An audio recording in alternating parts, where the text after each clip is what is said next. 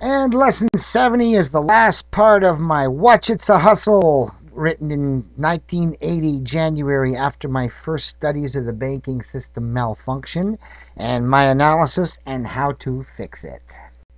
Just as the demand for a railway ticket furnishes railway management with a perfect indication of the capacity required, so does money furnish industry with demand for the capacity of goods required. It makes no more sense to argue that because there are only 100 tickets printed, only 100 may travel while the other seats remain unused, than to say that because there's insufficient money, many, undesir- many desirable things can't be done. The proper business of the bank and ticket department is to facilitate the distribution of the product in accordance with the public's desire and to transmit that desire to those operating the industry. There can be no interest in the efficiently structured economy of the future, since that would be taking the credit from the man who scored it and giving it to the man who didn't. That's stealing, reaping where you do not sow. I suppose interest got started when the father left his estate and gave each son a bag of seed, saying, Go forth and prosper. First son found good land and reaped enough to feed his two kids, save next year's seed, and have a reserve. The others all go broke. First gets hit with a storm, next by a tornado. The other has eight kids who eat all his grain. At planting time, they ask, May we use your credit, some of your reserve seeds?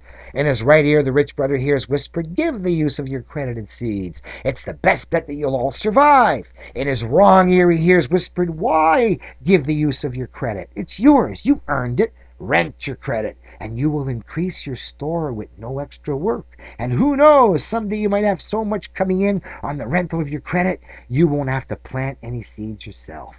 You can be unemployed and live off the interest. You won't have to pull your weight. You'll get some of his credit. After all, if the weak want to survive, they'll agree.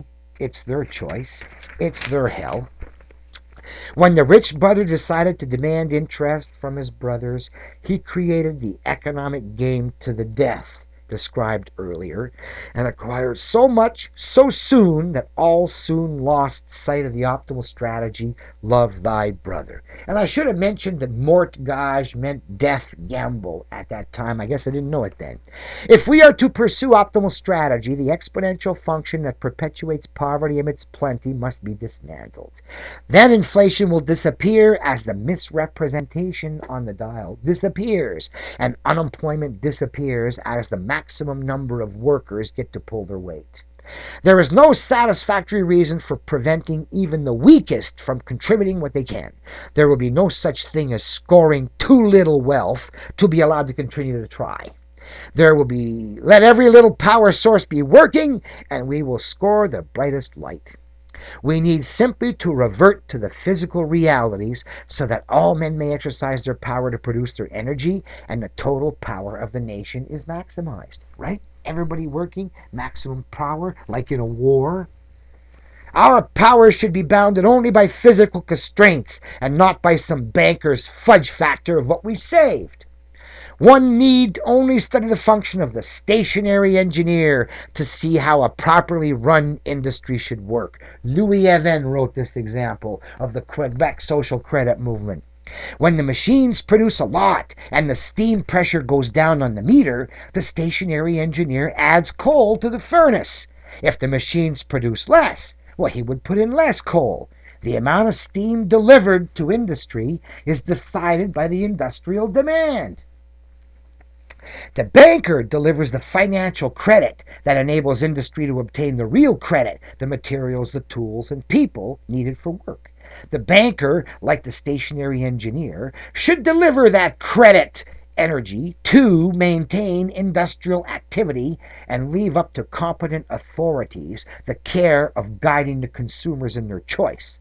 If either the banker or the stationary engineer doesn't deliver credit or steam energy according to demand to industry, if either raised or lowered the delivery according to their wish, they could regulate industrial activity.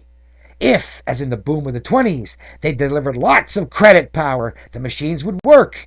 If, as in the Depression, they restricted delivery, the machines would slow down, even stop. They would make of steam or credit a power that dominates and not that serves. The stationary engineer has learned to make the steam serve. The banker has learned to make the credit dominate. All it takes is the good sense of the engineer to understand that the industrial demand should regulate the delivery of power, and not the delivery of power regulate the industrial demand. The problem exists because keeping the less fortunate short of funds assures bankers their profits and jobs. The solution is at hand. Once computers start to accurately keep track of wealth in the system, the misrepresentations will be impossible. Yet we need not wait. Any monetary system that does not use interest is necessarily linear and trivial to implement. They could have easily avoided the Depression by having every manufacturer who owned collateral issue receipts for that wealth, verified by an accepted official. As that asset depreciates, the receipts must be retired out of circulation. Those receipts are just as good as money while the asset is there to back them up. Better, they can't inflate. A banana grower in Brazil would readily accept those receipts because, he's, because he knows that with enough of them, he can collect the wealth backing them up. Just like a properly banked casino game. So, the essential question is why represent our wealth with their receipts for a fee when we can represent our wealth with our receipts for free? When that banana grower buys our wealth, he is paying for the energy cost of the man, the energy cost of the materials, and the energy cost of the tool. No more will he have to pay for the non energy cost of the interest. We now have the simplest definition of inflation. When the Bank of Canada raised interest rates, they raised the non energy cost of our living. And when we pay more for no wealth, that's inflation. Paying more for real energy costs is a barter effect, not inflation. If a casino banker tried to tell his players that their chips had inflated, odds are they'd beat him up. I don't suggest that we go beat up the bankers for having distorted the real energy picture, but the secret's now out. The power reading on their money dial is distorted and must be corrected. It makes no sense to adjust the value of our wealth to the number of their dollars through inflation or deflation when we can adjust the number of dollars to the value of our wealth with neither effect. As a Canadian money systems engineer and professional gambler with 10 years inflation free banking experience, I protest the bankers' mismanagement of the industrial machine and the misrepresentation of the real energy wealth in the game. What baffles me is how the bankers' strategy of slowing down the industrial machine can go unchallenged by men of science and engineers who know the real potential has yet to be harnessed. No system of counting our money will stand in the way of the liberation of our industrial power. After all, we're only wrestling with the banker's bad arithmetic. A scientific monetary system will be trivial to implement, upgrading a software from bad to good. Unrestrained by financial fetters, the resources of modern production will be sufficient to provide plenty for all at the expense of less and less labor.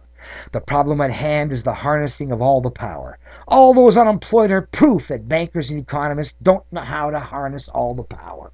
The economic ship is going down because their money dial says no power. They are wrong about the real power. Engineers handle the real power rating of the engine, economists handle the money power on the dial. I understand both the engine and the dial. So watch out, banks. There's an engineer working on your faulty dial. While a minority opinion is not necessarily right, a right opinion on a novel problem always begins with a minority of one. It's time to say amen when the engineer asks for your support in order to fix the engine that, keep, that gives you wealth. I need your so be it. I need your amen, Johnny Engineer Turmel. So watch it all you want, sir. It's not a hustle. January 1980. The Watch It's a Hustle, my first engineering analysis on the faulty banking system.